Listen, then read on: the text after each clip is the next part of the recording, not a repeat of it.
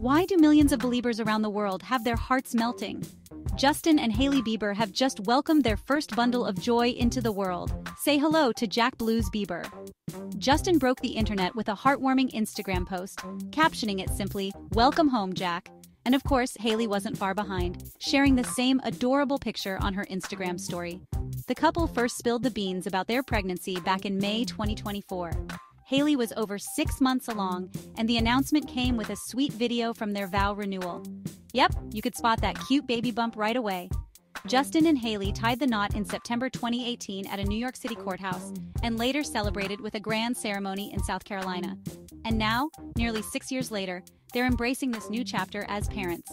So let's give a huge congrats to Justin and Hailey on their precious little addition. We can't wait to see more adorable moments with baby Jack Blues Bieber. Stay tuned for more updates on your favorite celebs. Don't forget to like, comment, and subscribe.